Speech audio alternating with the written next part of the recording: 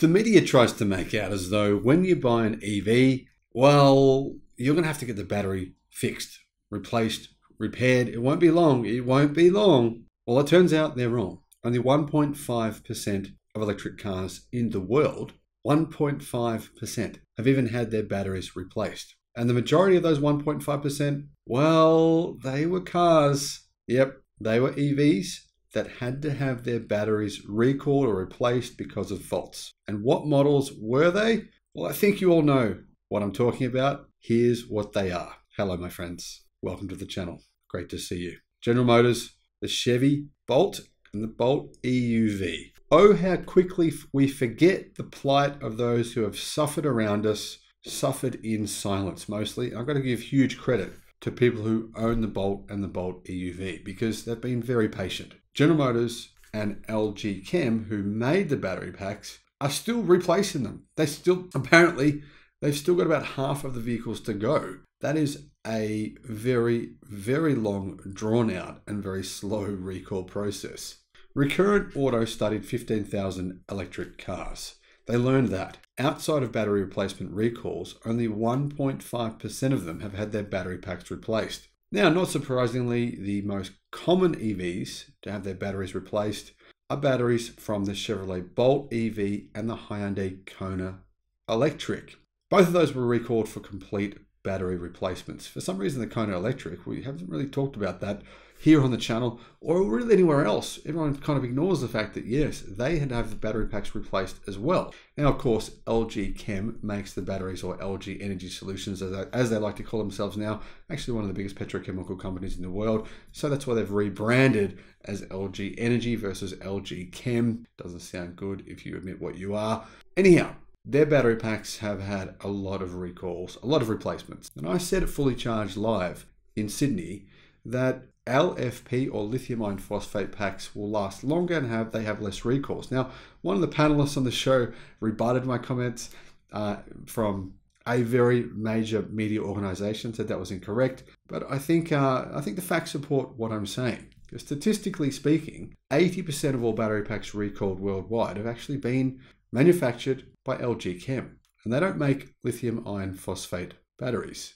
So does that mean then that most cars around the world use, you know, use ternary batteries or the type of battery chemistry in the LG Chem battery packs that have been recalled. Because that would make sense, because then my theory would make sense, because I'd be saying, well, yeah, most batteries were made by them, therefore it's fair for most batteries to be recalled by them, and therefore I wouldn't be making sense. But the truth is, actually, no.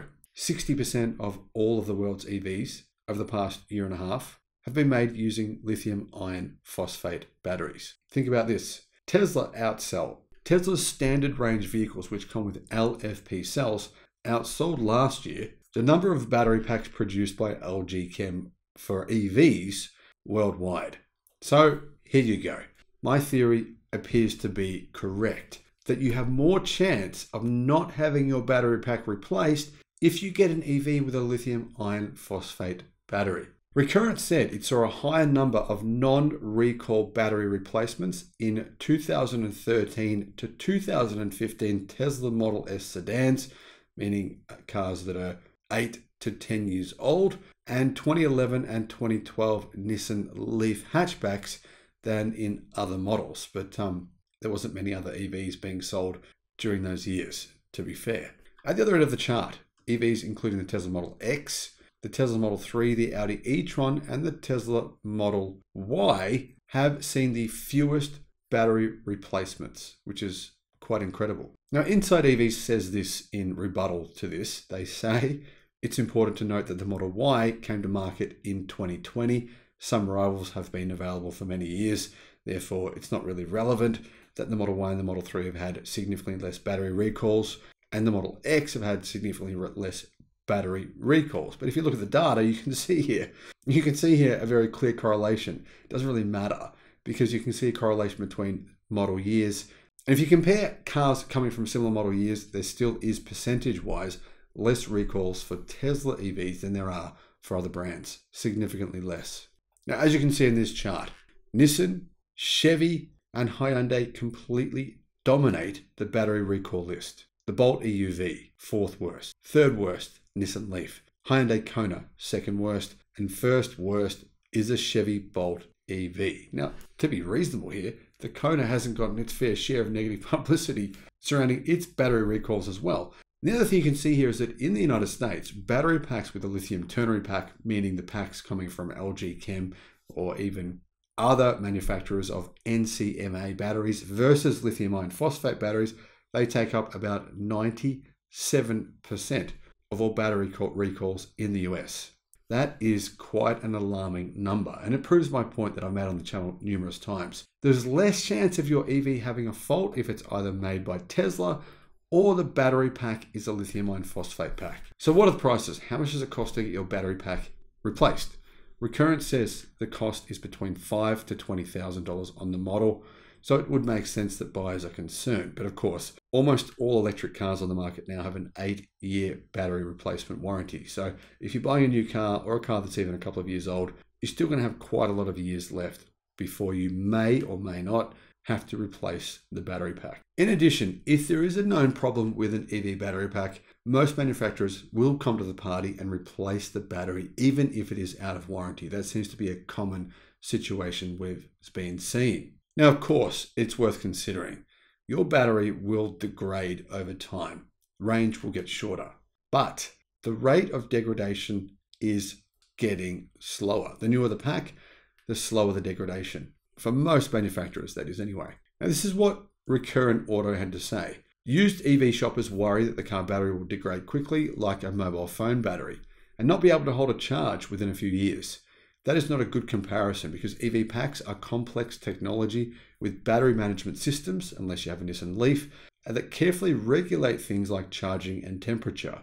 The research shows that batteries are holding up better than expected, and replacements are not an automatic surprise expense for owners at 101,000 miles. In other words, yeah, batteries are lasting longer than engines. Keep that in mind. The engine is equally very, very expensive to replace. If you want to put a brand new engine in a car, the price is astronomical. It's actually similar to the cost of a battery pack. In most cases now, battery packs are lasting longer than an engine. So how long will the average battery pack last now?